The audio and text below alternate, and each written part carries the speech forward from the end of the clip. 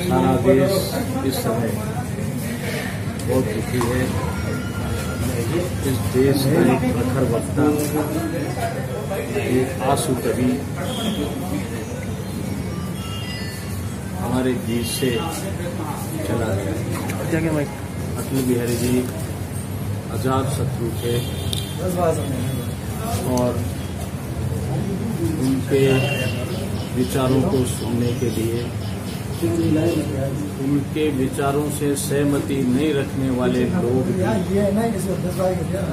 सुनते थे अटल बिहारी जी वाजपेयी आज बोलने वाले हैं। तो दूर दूर से लोग उनको राज्यसभा में रहे, लोकसभा में रहे। जिस दिन अटल जी लोकसभा राज्यसभा में नहीं जाते थे।